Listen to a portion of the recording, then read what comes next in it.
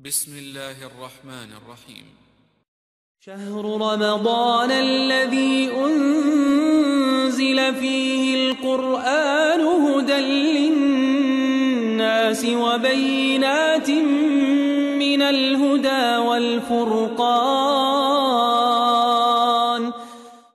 আশুরার সিয়ামের গুরুত্ব আশুরার সিয়ামের অনেক গুরুত্ব হাদিসের ভিতরে উল্লেখ করা হয়েছে সই বুখারি দুই হাজার ছয় নম্বর হাদিস এখানে ইবনে আব্বাস রদি আল্লাহ তালা আনহ তিনি বলেন আল্লাহ রসুল্লাহ আলহি আসাল্লাম আশুরার দিনে সিয়ামের এত গুরুত্ব দিতে দিয়ে, দিয়েছেন, এত প্রাধান্য দিয়েছেন যা অন্য কোনো সিয়ামকে আমি আল্লাহ রসুল্লাহ সাল্লামকে প্রাধান্য দিতে দেখিনি।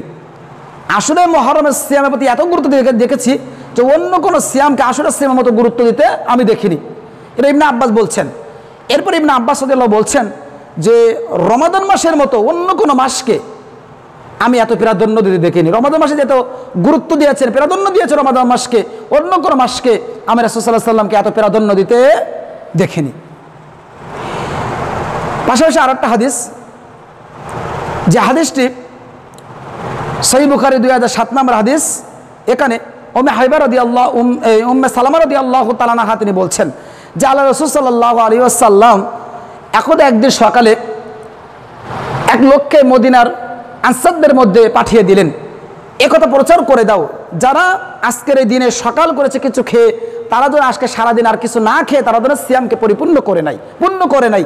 আর যারা কিছু না খেয়ে সকাল অতিবাহিত করেছে, তারা যেন আজকের দিন আর কিছু না খায়, তারা যেন সিয়ামকে পরিপূর্ণ করে নেয়। কারণ আজকের দিন হচ্ছে একটা গুরুত্বপূর্ণ দিন, আজকের দিন হচ্ছে আশুরার দিন।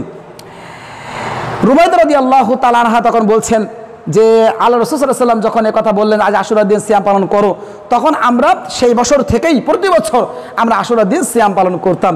এমনকি আমাদের যে ছোটো ছোটো বাচ্চারা ছিল, এই বাচ্চাদেরকেও আমরা আসলে মহারমের সিয়াম পালন করার ব্যাপারে অভ্যস্ত করতাম, রাখাতাম। যখন তারা ক্ষুধার যন্ত্রণায় কাতর হতো, তখন আমরা মসজিদে নিয়ে গিয়ে এক ধরনের তুলার খেলনা তাদেরকে দিয়ে দিতাম। এই তুলার খেলনা দিয়ে তাদেরকে আমরা ভুলিয়ে রাখতাম এভাবে করে ইফতারের সময় চলে আসতো। সুতরাং উল্লেখিত দুটি হাদিসের মাধ্যমে আমরা বুঝতে পারছি যে আসলে মহরমের সিয়ামের একটা বিশেষ গুরুত্ব দেওয়া হয়েছে। যে সিয়াম আল্লাহ রসুল পালন করেছেন, সাহাবরা পালন করেছেন, রাসুল সাল্লাহ সহধর্মীরা পালন করেছেন। সুতরাং আমরা এই সিয়ামটা পালন করার চেষ্টা করব। মহরমের সিয়াম, হুসাইন রদি আল্লাহ তালান হয়ে জন্ম মৃত্যুর সাথে কোনো প্রকার সম্পর্ক নেই। আসরের যে দুটি সিয়াম পালন করব, এই আসরের সিয়াম হোসাইন রদি আল্লাহ জন্ম এবং মৃত্যুর সাথে কোনো প্রকার সম্পর্ক নেই। হোসাইন রদি আল্লাহ তালান হু চতুর্থ হিজড়ে মদিরায় জন্মগ্রহণ করেছিলেন এবং কুফানগরীর কারবালাই একষট্টি হিজড়িতে হোসাইন রদি আল্লাহ তালা মর্মান্তিকভাবে শহীদ হয়েছিলেন। কিন্তু কারবালার ঘটনার পঞ্চাশ বছর পূর্বেই কিন্তু ইসলাম পরিপূর্ণতা পেয়েছে। পঞ্চাশ বছর পূর্বে ইসলাম পরিপূর্ণতা পেয়েছে।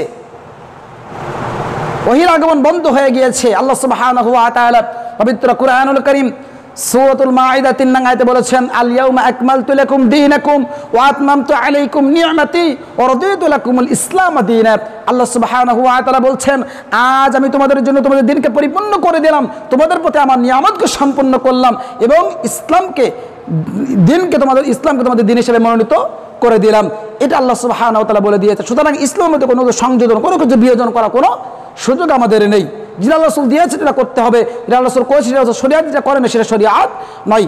সুতরাং আল্লাহ রসুল সাল্লাহ আলী আসাল্লাহ শুধুমাত্র আমাদের আসরের দিনে নফল শ্যাম পালন করার জন্য বলেছেন, আর সেই শ্যামটি আমাদের হবে শুধুমাত্র মুসা আলী হিসালাতামের সুক্রিয়া হিসাবে হুসাইন নদী আল্লাহ তালন মৃত্যুবরণ করেছে সেই নিয়তে নয়। যদি কোনো ব্যক্তি হুসাইন নদীর মৃত্যুবরণ করেছেন, ওই নিয়তে যদি কোনো ব্যক্তি শ্যাম পালন করে, তাহলে পাপ হবেই হবে, অবতারিত হবে, নিশ্চিত হবে। সুতরাং হুসাইন নদী আল্লাহ তালানহ যে জন্ম এবং মৃত্যু, এই আসরের শ্যামের সাথে তার জন্ম মৃত্যুর কোনো প্রকার সম্পর্ক নেই, কোনো অস্তিত্ব নেই সুতরাং আমরা একমাত্র যে নফল সিয়াম আসরের সিয়াম, এই সিয়ামটা পালন করব না। যাতে মুসা আলী ইসালাতর শুক্রিয়া হিসাবে আল্লাহ রব্বুল আলমিন আমাদের সকলকে বেশি ভেবে আমল করা তৌফিক দান করুন। আল্লাহ